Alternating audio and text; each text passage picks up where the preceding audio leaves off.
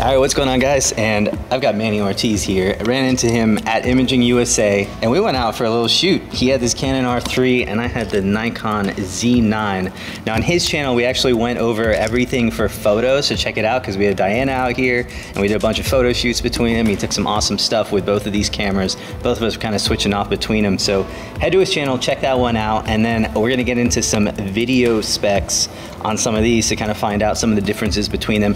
This is not like the full review or anything. We'll do some more videos like this. This is like really our first hands-on with both of these cameras. So some first impressions with it and we'll see how it went.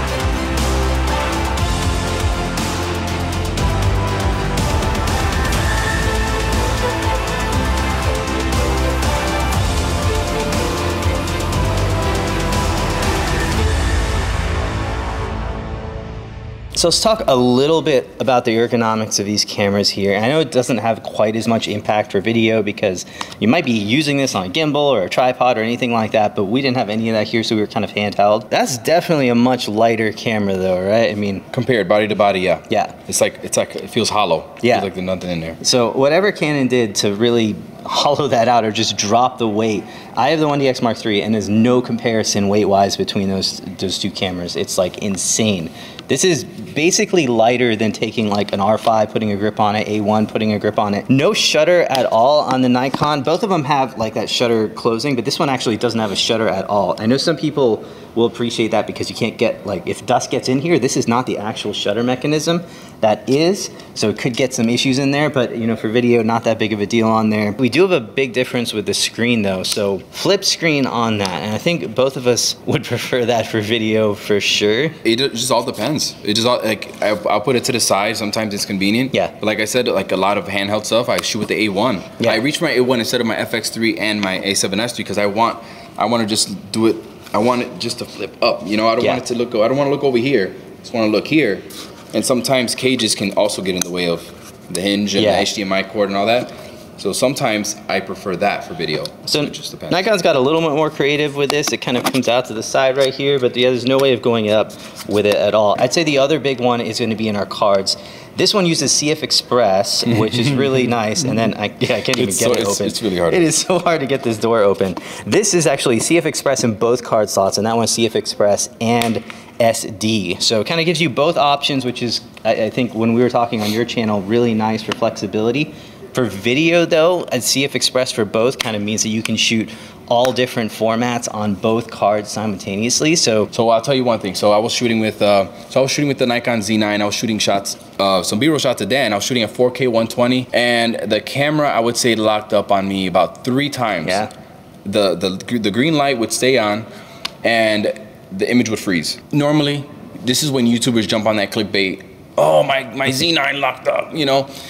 The truth is, I'm not judging the camera based on that. This is a very early firmware, and all I can say, I, I all I have is great things to say so far about this camera and the video options, etc., etc. But I did, I do want to mention that it was locking up on me. It's something that I noticed, but I'm sure it's going to be fixed. Okay, everybody pretty much knows that Canon does autofocus really well. Mm-hmm. It does a great job locking, and it's one of the smoother systems that I've ever seen. Like, it just is really nice how it just gradually moves with your subject. The Nikon, this is definitely by far the best, like, of Nikon cameras. Oh, Yeah, compared to like your Z6-2s and Z7s and things not like even, that. it's not even close. One thing I will say though, you notice this especially, mm-hmm. it's a little jumpy sometimes. Yep, I tap Diana's face on the screen. I tap behind her, maybe like close, closely behind her. I would say over here. The white box would still be on her face, but then it, it- it's just like it wouldn't follow. So I tap on the background. Okay, go on the background, but the white box is still on her face. But I tap on her, and then it would, it, it wouldn't find her right away. It would just, it'd be a little, a little fidgety. You know, we're talking like little, like little details. Like I was looking. Right. I was looking to make the cam like try to trick the camera. And Yeah, I don't even think it will be noticed that much, and it was locking eyes far away. It's the number one eye locker. Yeah. Okay. I just made the term up. It's the number one eye locker. This thing locks eyes insanely fast, uh, faster than any one of any of these other cameras. Like the Mm-hmm. moment, the moment it, you're at the corners. Yeah. Right. Gets your eye right away. Yeah. Give me any one of these, I'll be Yeah, like, absolutely. it's we're, we're at that point. All right, guys, so I am back in the studio now, and I've had a chance to really go over the video that we shot out there, do a few more tests between these two cameras on my own here in the studio, so I'm to share that with you. What's interesting is when Manny and I were shooting this, it was basically just our first hands-on with these two cameras. We really hadn't had any direction of what we were going to do with this, and that intro sequence, we just had so much awesome footage that I really wanted to put something really cool together, and it ended up being so representative of what was actually going on. So here you have Diana who was modeling for us and the snow was beautiful and Sally was out there doing a shoot and they were having some fun with that. And then here you have Manny and I inside nerding out of these cameras, comparing specs, really trying to fight it out and see which one is going to be the better camera and ended up coming together really nicely with these. But I do have a lot more information on these cameras to share with you, so let's take a look. So going back to that autofocus test, what was actually interesting is that the Nikon Z9 was actually picking up the eye even earlier than the R3 and quite a bit more. In fact, there were a few times that Diana was actually walking towards us that the R3 struggled to pick her up at first, and it wasn't until a little bit later that it started locking on, whereas the Nikon Z9 locked on very well. What was a little bit more of a struggle for the Z9 is going point to point, especially in low contrast areas areas it would kind of seem like it was hunting just a little bit before making that switch. And it might be able to be fine tuned. I did mess with it a little bit in the field while we were working this out. However, it just seemed to struggle a little bit more than the Canon. Didn't really end up being in my footage unless you're really doing like a rack focus with autofocus, which is not something I do too often. So for our test, and at least what we shot, the Nikon Z9 seemed to lock on a little bit more and hold focus a little bit longer. So digging into the quality, the first test I had to do was 8K. If you can actually tell the difference between 8K and maybe 4K 24 from the Canon R3, and the answer is yes, you can. It's kind of hard to spot at 100%, but definitely at 200%, you can see the difference. So if you're doing something like cropping in post, which is what I would do more often, I'm not usually natively shooting 8K on an 8K timeline. But for that cropping in post, you can see a bit of a difference between having this 8K option on the Nikon Z9. Also, when it comes to 4K 120, a lot different with that one. So the Canon R3 actually has a weakness in there. It, it only shoots in that mode already slowed down. You end up with a 30 frame per second file. There's no audio in the file. The clip is already slowed down in it. Plus it is only shot at all eyes. So you're actually ending up with like gigs and just for a minute. I think it was like six gigs of recording. So it was insane file sizes when you're using that. By comparison the nikon z9 shoots 120 frames per second just like any other frame rate. So you still have full audio you have a native 120 frame per second file you have the full bitrate option so you can kind of choose what works best for you. So for me as someone who does use 4k 120 all the time. This was a big win for the Nikon Z9. So if you're a 4K 120 shooter, definitely this is going to be the camera that has the most going for it. The Z9 also has the ability to shoot ProRes in camera. I don't personally use that and probably wouldn't all that often, but I know some of you guys love ProRes. It's very easy to edit. Uh, and so it's a great to have that in camera.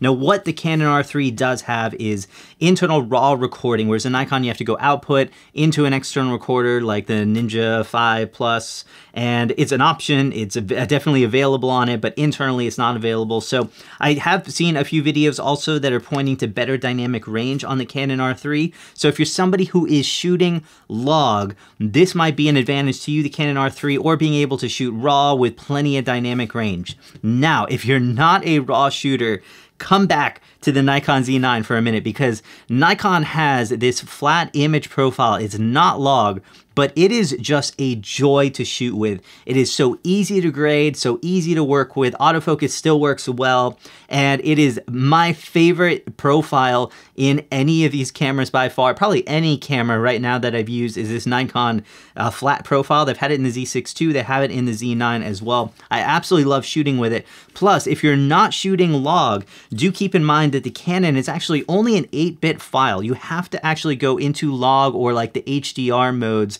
in order to be able to lock down that 10-bit profile. Whereas a Nikon Z9 can shoot full 10-bit 422 in any of these modes and picture profile standard, it doesn't matter. So for somebody who is not a log or a RAW profile user, the Z9 actually has a few advantages to it, but if you're after the most dynamic range, shooting log, shooting raw, that's where the Canon R3 has a few advantages. Now I also did a low light test with both of these cameras and I will say the R3 definitely the winner here no matter how you run it. Basically, I started out with log and in that log mode, you could definitely see that the R3 was the better all the way through. However, what's interesting is a Nikon Z9 pretty much unusable above 6400 or at definitely 12,800 ISO, whereas the R3 could probably pump another one or two stops more. It was still going pretty strong at that level. Now going into the standard profile, again, the R3 is the better camera in low light. It was definitely performing up to higher ISOs. However, the built-in noise reduction, both of these were set to standard. The built-in noise reduction on the R3, way too strong, way too strong. You will definitely need to turn this down. You'll get much better results when you do that. However, still across the board, the R3 was going to be the better camera in low light, again, probably due to the lower resolution megapixels, and that's usually an advantage when it comes to video mode. Now, I do have two more really awesome shoots. I'm talking like supercars coming up this week with the Nikon Z9. I'll probably bring out the R3 as well for some more stuff. If you haven't checked it out yet, definitely subscribe. Check me out on Instagram. I'm going to do some behind the scenes of all of that stuff. Definitely appreciate Manny and Diana helping me out with these shoots. Definitely go check out their channel so you can, I'm sure you're already subscribed, but Manny's got some really awesome stuff out there, so definitely go check that out. Plus, he's going over the photo aspects of these cameras a bit more in detail. Hope you guys are doing amazing. Stay tuned, some really cool Nikon Z9 content coming your way soon.